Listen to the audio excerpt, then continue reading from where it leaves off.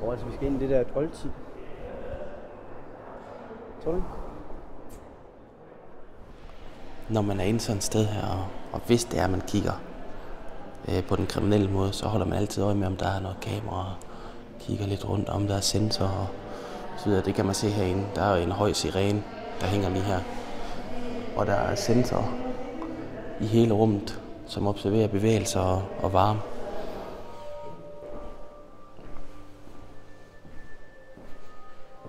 Det var noget af en guldring, hva'? Nej, det er kæft.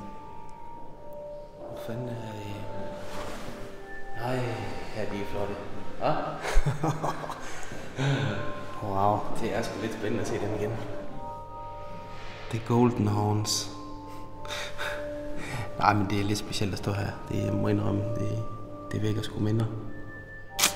Du har sådan et ret nært forhold til dem på en eller anden underlig måde. Det får man lidt, når man har lagt og sovet med dem.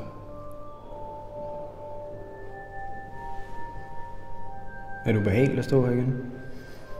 Nej, men man får sådan nogle billeder af, af fortiden.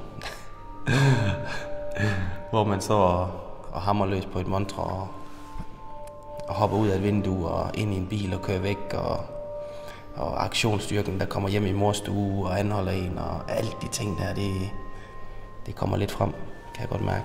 Men hold kæft, der er meget guld. Det er helt vildt. Og det er altid noget, øh, noget rigtig godt guld, det der.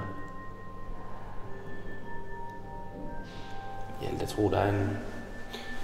Med alt det der... 10-12 kilo. Med, med det, der står herovre i Montreux også her. Kan du se det? Det er helt vildt. Der er jo kraftigt meget. Og det er jo massivt. Det er jo ikke... Ja.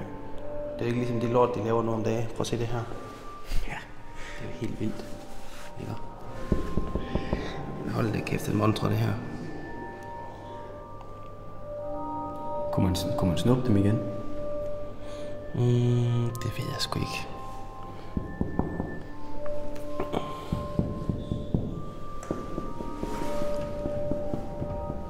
Den er alt for tyk.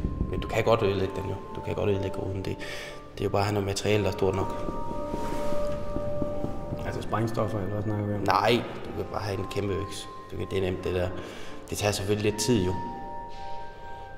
Men det er det der med at få væltet den ned, og så gå løs på den. Det, det er der, den ligger.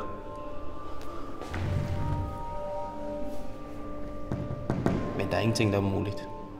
Men det ligger jo inde i København, og der er masser af politi, og man skal lige tænke sig om, hvis man skulle finde på sådan noget igen. Så det tror jeg godt, det kan fraråde. Det er helt sikkert.